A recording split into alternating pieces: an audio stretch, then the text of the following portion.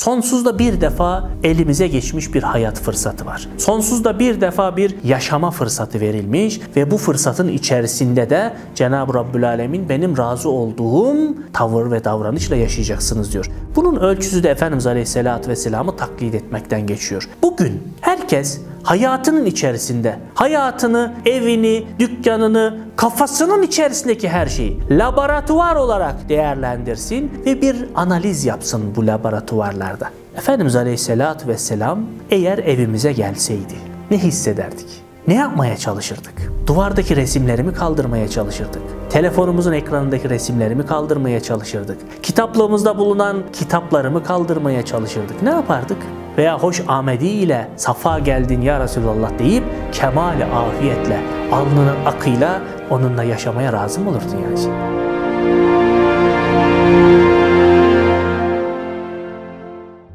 Elhamdülillahi Rabbil Alemin ve salatu ve selamu ala Resulina Muhammedin ve ala alihi ve sahbihi ecmain.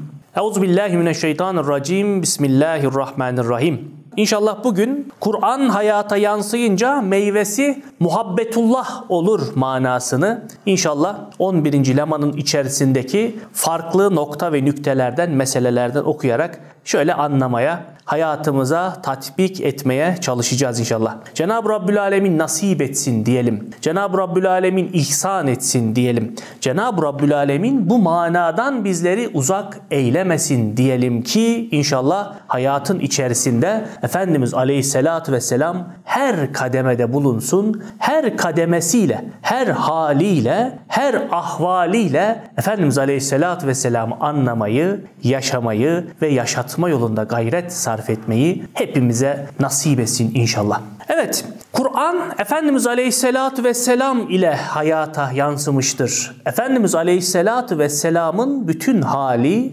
ahvali Kur'ani bir yansıyıştır. Efendimiz Aleyhisselatü Vesselam'ın hayatı Kur'an'ın bir nevi tefsiridir. O yüzden Efendimiz Aleyhisselatü Vesselam'ı hayatımızın içerisine almak demek, Kur'an-ı Kerim'i hayatımızın içerisine almak demektir. Cenab-ı Rabbül Alemin'in rızası da o noktadan geçiyor. İnşallah bu manaları, özetlediğimiz bu hakikatları birazdan yerlerinden okuyarak anlamaya çalışacağız.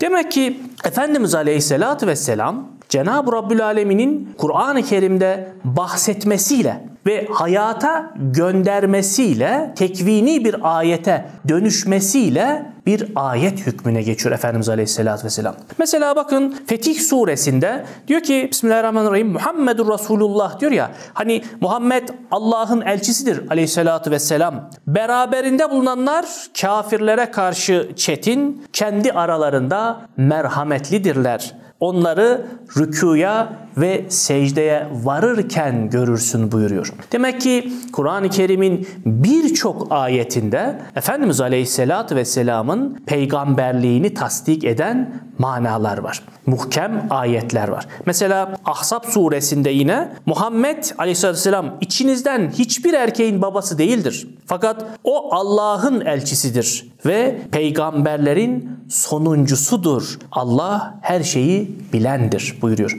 Yani peygamberlerin sonuncusudur manasıyla Efendimiz Aleyhisselatü Vesselam'ın peygamberliğini ve son peygamber olduğunu Kur'an-ı Kerim'de muhkem bir ayetle Cenab-ı Rabbül Alemin bizlere bildirmiş. Diyor ki bakın Saf suresinde hatırla ki Meryem oğlu İsa ey İsrail oğulları ben size Allah'ın elçisiyim. Elçi olarak gönderildim. Benden önce gelen Tevrat'ı doğrulayıcı ve benden sonra gelecek Ahmet adında bir peygamberi de müjdeleyici olarak geldim buyuruyor. Ha buradan ne anlaşılıyor? Şimdi bütünüyle Kur'an-ı Kerim'i buraya okumaya vaktimiz yetmez. Ama şu mana net bir şekilde ortaya çıkıyor ki Efendimiz Aleyhisselatü Vesselam ayet-i kerimede bahsedilmiş, hayatın içerisine zahiren gönderilmiş ve bir ayet olarak hayatın içerisinde gayet güzel bir şekilde kemal bir hayatla, mükemmel olgun bir hayatla hayatın içerisinde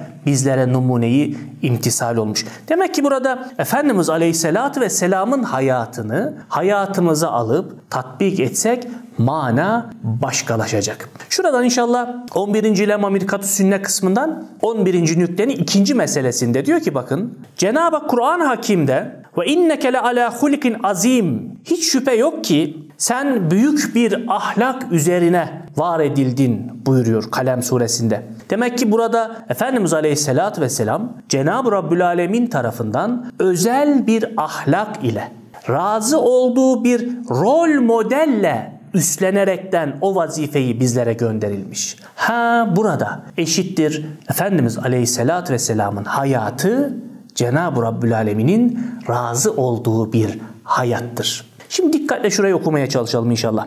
Evet rivayet-i sahiha ile Hazreti Ayşe Sıddıka radıyallahu an gibi sahabe-i güzin Hazreti Peygamber aleyhissalatü vesselam'ı tarif ettikleri zaman hulukuhul Kur'an diye tarif ediyorlardı. Efendimiz aleyhissalatü vesselam'ın eşi hayatın her kademesinde bulunmaya çalışmış o güzide eşi, validemiz Efendimiz Aleyhisselatü Vesselam'ın ahlakını tarif ederken onun ahlakı Kur'an ahlakıdır diyor. Hani emrolunduğun gibi dost doğru ol ayeti indiriliyor Efendimiz Aleyhisselatü Vesselam için. Yani Cenab-ı Rabbül Alemin Kur'an-ı Kerim'de Kur'ani bir hayatı, arzuladığı bir hayat tarzını nasıl murat etmişse Efendimiz Aleyhisselatü Vesselam'a da yaşaması için birebir tebliğ etmiş. O Festagim güme ümürt ayeti indiği zaman ayakları atımın diyor kuma saplandı. Öyle bir ağırlık çöktü üzerime diyor. Sakallarım ağardı diyor Efendimiz Aleyhisselatü Vesselam. Neden? Çünkü kusursuz Cenab-ı Rabbül Alemin'in razı olduğu bir hayat modelini topluma rol model olarak üstlenip yansıtacak bir vazife üzerine yüklenmiş.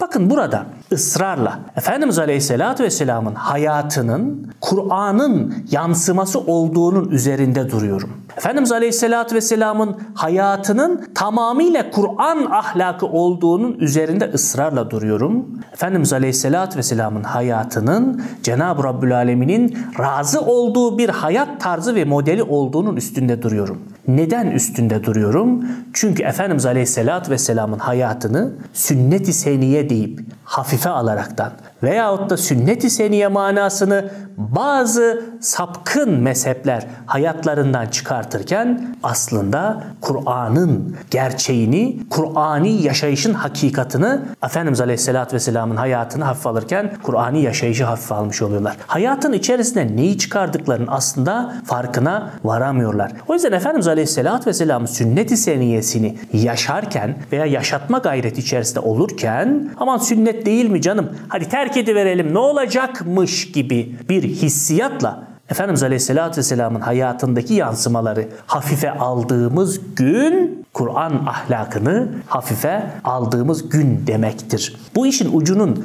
faturasının nereye vardığına iyi dikkat etmemiz gerekiyor aziz dostlarım. Evet yani Kur'an'ın beyan ettiği mehasini ahlakın, Kur'an'ın bizlere tebliğ ettiği o en güzel ahlakın misali yansımaları Muhammed Aleyhisselatu Vesselam'dadır. Ve o mehasin en ziyade imtisal eden ve fıtraten o mehasin üstünde yaratılan odur. Yani o güzel ahlakı hayatıyla tanzim eden, hayatıyla bizlere takdim eden, yansıtan Efendimiz Aleyhisselatü Vesselam'dır. Çok güzel. İşte böyle bir zatın efal, fiilleri, ahval, tavır ve davranışları ve akval ve harekatının her birisi yani konuşmalarının ve diğer hayatının her kademesinin her birisi bakın nevi beşere bütün insanlığa birer model hükmüne geçmeye layık iken Allah Allah Efendimiz Aleyhisselatü Vesselam'ın hayatı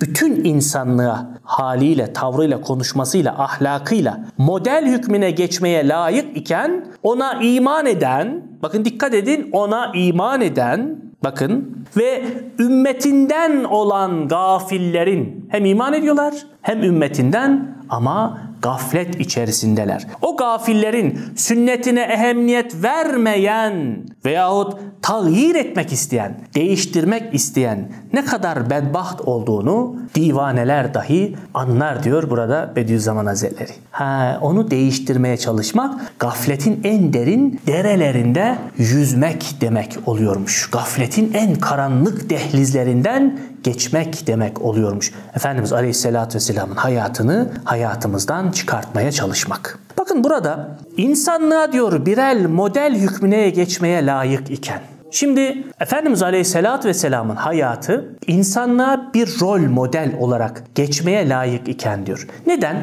Bakın Efendimiz Aleyhisselatü Vesselam Kur'an ahlakını, Kur'an manalarını en güzel şekilde yaşadığı için Efendimiz Aleyhisselatü Vesselam bir babayken bakın dikkat edin bir dedeyken bir devlet idarecisiyken bir peygamberken Kur'an ahlakını hayatına almakla dedelikte, babalıkta, devlet idareciliğinde ve peygamberlikte en kemal, en olgun hali yansıtmıştır. Onun için bu en olgun bir şekilde hayatın içerisine yansımasında demek ki en kemal ve mükemmel bir hal olarak karşımıza çıkıyor. Bunu göz ardı etmemeliyiz. Bunu göz ardı edemeyiz. O yüzden burada demek ki bir çocuk eğitiminde, bir torun eğitiminde burada Efendimiz Aleyhisselatü Vesselam rol model olarak hayatımıza alınsa Bakın hayatımıza alındığı zaman orada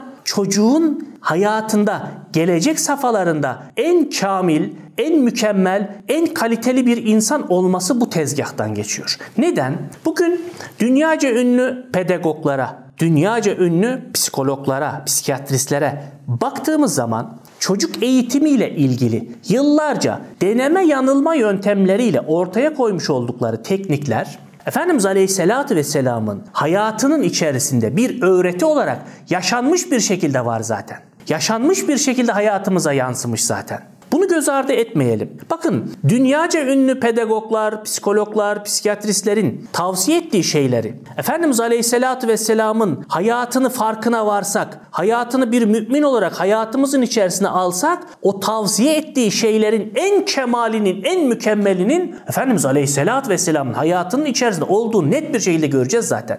Biz müminler olarak yaramıza merhem dibimizdeyken yaramıza merhemi başka yerlerde aramaya gidiyoruz. Bak dikkat edin. Der ki pedagoglar çocuk duygular noktasında güzel derin manaları aleminde yaşarken veya kötü derin manaları aleminde yaşarken eğer onun derdine derttaş olmazsanız, onun duygu ve hissiyatlarına yardımcı olmazsanız, onu değerli hissettirmezseniz, çocuğun derdini gözünüzün içine baka baka onu dinlemezseniz çocukta değersizlik hissi oluşur. Peki bu problemi olan, sıkıntısı olan bir çocuğu dinlemediğin zaman, derdine ortak olmadığın zaman, derdine derttaş olmadığın zaman bu çocuk ileriki yaşlarda büyüdüğünde neler ortaya çıkıyor biliyor musunuz? Bir, dikkat dağınıklığı.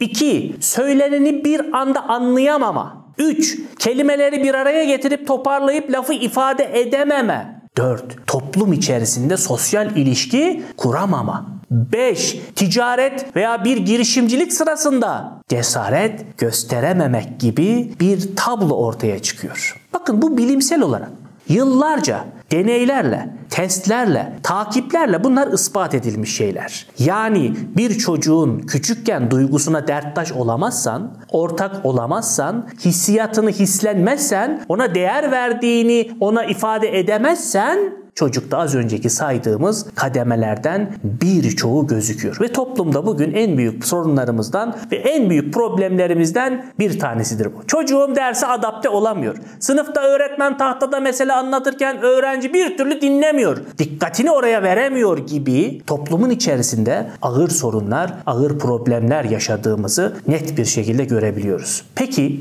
Efendimiz Aleyhisselatü Vesselam'ın hayatına bakalım. Dedik ya o en kemal düzeyde Kur'an Kur'an ahlakıyla ahlaklandığı için mükemmel bir dededir. Mükemmel bir komşudur. Mükemmel bir babadır o. Bakıyoruz şimdi Siyer-i Nebevi'den. Bir çocuğun malum bildiğiniz mesele kuşu vefat ediyor. Çocuk hüzünlenmiş. Efendimiz Aleyhisselatü Vesselam eline küçük bir hediye alarak bu çocuğa baş sağlığına yani taziyeye gidiyor üzgün olduğunu o çocuğa hissettiriyor. Onun kadar kendisinin de üzüldüğünü ifade ediyor. Bu bir tane numune yani bakın bir sünnettir. Allah aşkına bütün samimiyetimle dost tane soruyorum. Hangimiz bu sünneti hayatın içerisinde tatbik ettik? Hangimiz bir çocuğun beslediği kedinin, kuşun ölümünde veya değer verdiği bir çiçeği beslerken çiçeğinin solmasında veyahut da herhangi gibi bir iç aleminde geçirdiği, yaşadığı buhranlar neticesinde o çocuğu hangimiz ziyaret ettik? Etmedik, edemedik. Neden? Bilmiyoruz ki edelim. Farkında değiliz ki bunun. Çocuğum dikkat dağınıklığı var diye psikoloğa pedagog götürdüğümüzde diyor ki işte sorunlarıyla ilgilenmediğiniz için zamanında bu problemler karşınıza çıkıyor. Atı alan Üsküdar'ı geçmiş. Onun için burada dedik ya bakın Kur'an hayata yansıyınca karşılığındaki mana meyve muhabbetullah olarak geri döner. Cenab-ı Rabbül Alemin'in razı olduğu bir kul seviyesinde. Hatta Cenab-ı Rabbül Alemin bir kulunu severse onu diğer insanlara da sevdirir manasıyla Rabbinin sevdiği bir kul toplum tarafından da sevilen bir kul pozisyonuna dönüşmesi sizce neyin meyvesidir? Kur'an hayatının, Kur'an ahlakının toplum içerisinde yansımasının meyvesidir. O yüzden demek ki Kur'an'ın hayatımızın içerisine mutlaka ama mutlaka yansıması lazım, inmesi lazım. O da Efendimiz Aleyhisselatü Vesselam olarak karşımıza çıkıyor. Demek ki burada Efendimiz Aleyhisselatü Vesselam bakın çok ilginç. Kendisine öyle bir özgüven, kendisinde öyle bir eminlik duygusu var ki Efendimiz Aleyhisselatü Vesselam çocuklar oynarken yardım ediyor oyunlarına katılıyor. Hasan ve Hüseyin Efendimiz yarışırken malum biliyorsunuz Hasan Efendimiz'i destekliyor. Ebu Bekir Efendimiz diyor ki Ya Resulallah niye Hüseyin'i desteklemiyorsun? Onu da diyor Cebrail aleyhisselam destekliyor. Dikkat ediyor musunuz? Cebrail aleyhisselam destekliyor. Bu kısmına ayrı geleceğiz. Efendimiz Aleyhisselatü Vesselam'ın onlarla oynaması kısmına ayrı geleceğiz. Burada önce Efendimiz Aleyhisselatü Vesselam'ın çocukların oynamasına yardımcı olan kısmına bakalım.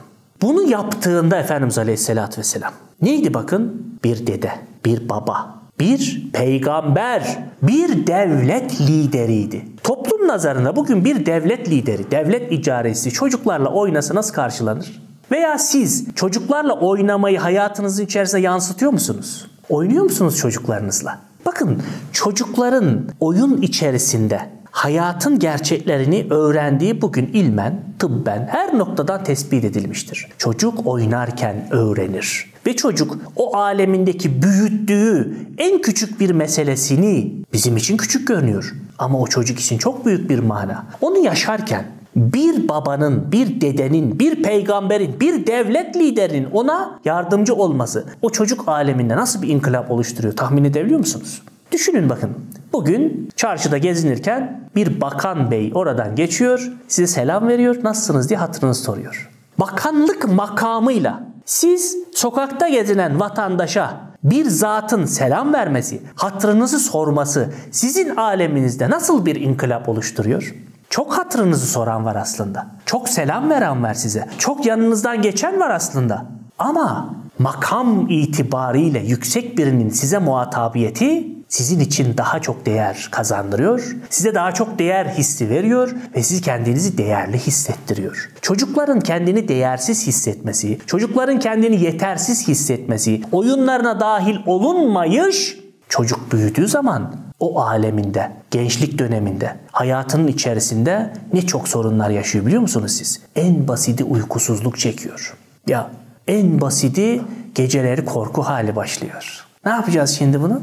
Çocuğum yatağından fırlayıp fırlayıp kalkıyor. Delikanlı oldu. Tek başına odasında daha insan kazık kadar herifsin korkar mısın diyorsun bir de değil mi? Peki çocuğun bu hale gelmesindeki yansıma kim? Suç kimin? Küçükken onun değerlerine değer katılmadığı için siz tarafından, ebeveynleri tarafından hislerinde çökme oluyor. Ve hayatın içerisinde böyle yansımalar meydana geliyor. Suçlu biziz. Suçlu Efendimiz Aleyhisselatü Vesselam'ın hayatını öğrenmeyip hayata tatbik etmeyen bizleriz. Ya bu kadar basit işte mesele. O yüzden Kur'an ahlakının hayata yansıması, Kur'an ahlakının hayatın içerisine en güzel surette girmesinin meyvesi Efendimiz Aleyhisselatü Vesselam'ın hayatında yine net bir şekilde gözüküyor. Net bir şekilde. Bakıyorsun Hazreti Hatice Zülkübra validemiz diyor ki bizim Dacin isminde bir kuşumuz vardı. Efendimiz Aleyhisselatü Vesselam odada bulunduğu müddetçe sekinet içerisinde büyük bir sakinlikle orada oturur, orada dinlenir, orada tefekküre dalardı. Ne zaman ki Efendimiz Aleyhisselatü Vesselam odada olmadı sürekli bir panik halinde. Düşünebiliyor musunuz? Kur'ani bir hayatın yaşayışının meyvesi olarak bir hayvan dahi bunun tesirinde kalıyor ya. Bu neyle izah edilebilir? Sahabe Efendimiz diyor ki benim atım en yürüyüşsüz atlardan biridir. Ama Efendimiz Aleyhisselatü Vesselam üzerine bindiğinde o at öyle bir güzel yürüyüş sergiliyor ki insanlar hayranlıkla bakıyorlar. O en güzel yürüyen at haline geliyordu diyor. Yani Kur'an'ın hayatımızın içerisinde olması, Kur'an'ın hayatın içerisinde yaşanır bir vaziyete gelmesi neticesinde kainatın, mevcudatın atından affedersin itine kadar her şey sana musahhar oluyor. Musahhar oluyor. Ya düşünebiliyor musunuz? O yüzden demek ki Kur'an ahlakının hayata yansımasında böyle güzel neticeler ve böyle güzel meyveler ortaya çıkıyor. Evet, başka ikinci noktada diyor ki 10. nüktesinde muhabbetullah, Allah'a muhabbet, ittiba sünnet Muhammedi aleyhissalatu vesselam'ı istilzam eder. Allah'a Celle Celal muhabbetinizin olmasını istiyorsanız, kainatın sahibiyle bir yakınlık kurmak istiyorsanız, ölçüsü neymiş? Sırrı neymiş? O kapıları açan şifre neymiş? Efendimiz Aleyhisselatü Vesselam'ı hayatımızla tatbik ve taklit etmekmiş. Ya bu kadar güzel olabilir mi bir şey ya? Bu kadar bariz ortada olabilir mi bir şey? Bakın net bir şekilde yansımış ve meyveleri görülmüş bir hayat. Ortaya meyveleri çıkmış bir hayat. Nasıl bunu görmezden geliriz biz şimdi? Cenab-ı Rabbül Alemin'i sevmek veya onun sizi sevmesini kim istemez? Herkes ister. O yüzden demek ki muhabbetullah Allah'a Celle Celal muhabbetin oluşması Efendimiz Aleyhisselatü Vesselam'ı gibi yaşamaktan geçiyormuş. Çünkü Allah'ı sevmek onun marziyatını yapmaktır. Cenab-ı Rabbül Alemin'i sevmek, onun razı olduğu tarzı yapmaktır. Diyorsun ki kişiye ben seni çok seviyorum, ben sana çok değer veriyorum, ben seni şöyle, ben seni böyle. Hal, ahval, tavır hiç öyle değil mesela. Lisan-ı hal, lisan-ı kalden üstündür. Yani hal ve tavır dili anlatmaktan, ifade etmekten daha üstündür. Onun için bu asırda anlatmak tamam çok güzel bir şey ama tebliğden ziyade yani anlatmaktan ziyade temsil rolünü üstlenmemiz gerekiyor. Temsil rolünü. Yani hayatınla da Kur'an'ı yaşayacaksın. Lisanın Kur'an'ın ayetlerini aleme duyururken lisanı halinle de Kur'an'ı oku diyor Bediüzzaman Hazretleri. O zaman sen dünyanın efendisi, alemin reisi, insaniyetin vasıtayı saadeti olursun. Ya ne kadar güzel bir şey ya. Ne kadar hoş bir mana bu. Kur'an ahlakı hayatın içerisine girdiği zaman insan nerelere geliyor ya. Cık, acayip bir şey bak. Çünkü Allah'ı sevmek onun marziyatını yapmaktır. Marziyatı ise en mükemmel bir surette Zat-ı Muhammedi Aleyhisselatü Vesselam ile tezahür ediyor. Zat-ı Ahmedi Aleyhisselatü Vesselam harekat ve efalde benzemek iki cihetli olur. Demek ki Efendimiz Aleyhisselatü Vesselam'a fiil ve davranış, konuşma itibariyle benzemek iki cihetli olur. Birisi, neymiş bakalım bunlar? Cenab-ı Hakk'ı sevmek cihetinde emrine itaat, yani Cenab-ı Allah'ı seviyorsan emrine itaat ve marziyatı dairesinde hareket etmek, Allah'ın razı olduğu tarz ile hareket etmek, o ittibaı iktiza ediyor. Peki biz razı olduğu tarzı nereden bileceğiz? Razı olduğu şekli nereden bileceğiz? Bu tavır ve davranışı kimden öğreneceğiz? Burada net bir şekilde ifade ediyor ki Efendimiz Aleyhisselatü Vesselam'ı taklit ettiğin zaman otomatik olarak zaten onun razı olduğu bir kul olacaksınız diyor. Çünkü bu işte en mükemmel imam Zat-ı Muhammediye aleyhissalatü vesselam'dır. Bu işte en profesyonel, en mükemmel imam odur. Ya acayip. İkincisi madem Zat Ahmet Aleyhisselatü Vesselam insanlara olan hadsiz ihsanat-ı ilahiyenin en mühim bir vesilesidir. Efendimiz Aleyhisselatü Vesselam'ın varlığı insanlara sunulan en mükemmel ihsanın vesilesidir. Allah Allah. Hani hep itiraz ediyorlar ya hadis kitabında bulunan levleke levlek lema halaktul eflek hadisi işte vardı yoktu şuydu buydu itirazlar. Niye itiraz ediyorsunuz ki? Cenab-ı Rabbül Alemin bakın Nisa suresi 125. ayette İbrahim Aleyhisselam'a halilim diyor. Ayette dostum diyor. Dostum diyor. Allah İbrahim'in dostu edindi diyor ayette. Şimdi İbrahim Aleyhisselam'ı dost edinen, ona dostum diyen Efendimiz Aleyhisselatü Vesselam'a niye Habibim demesin, sevdiğim demesin, sevgilim demesin? Niye ben onun hatırı için kainatı yarattım diyemesin hadisi kutsiyle?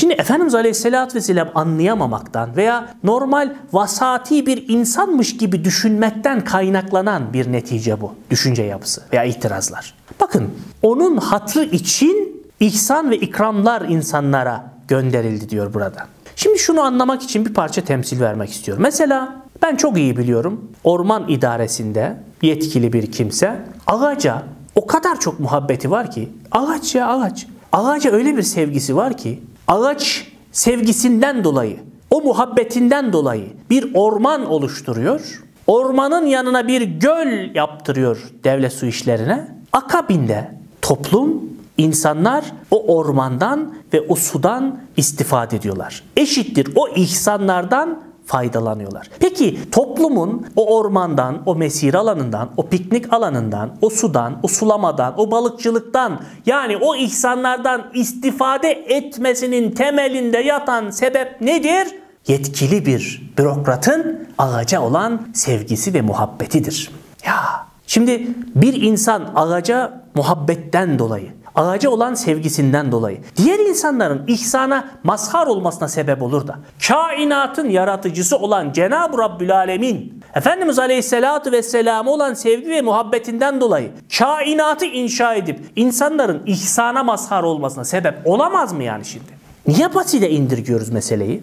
Bugün ulaşımda güzel bir şekilde lüks araçlarla günlerce gidilen yeri kısa bir zamanda gidiyorsak yani bu ihsanlara mazhar isek sırf temelinde ne yatıyor biliyor musunuz? Bir insanın makinaya olan muhabbeti, makinaya olan, mekaniğe olan aşkı yatıyor. Çıkmış birisi mekaniğe, makineye aşk derecesinde muhabbet bağlamış. Ve bu muhabbeti arabaya dönüşmüş. Bu muhabbeti uçağa dönüşmüş. Bu muhabbeti diğer binek aletlerine dönüşmüş. Demek ki bir kişinin makineye, mekaniğe muhabbetinden diğer insanlık bu kadar ihsanlara mazhar oluyorsa Cenab-ı Rabbül Alemin'in Efendimiz Aleyhisselatü Vesselam olan muhabbetinden bu kainat mevcudatı ihsanlara mazhar oluyorsa çok mudur aziz dostlarım? Hiç de çok değildir yani. O yüzden biz eminiz ki Cenab-ı Rabbül Alemin Efendimiz Aleyhisselatü Vesselam'ı Kur'an'da defaatle ismini zikretmesiyle çok seviyor. Ona muhabbet ve aşk derecesinde muhabbet besliyor. Amenna ve saddakna değerli dostlarımız.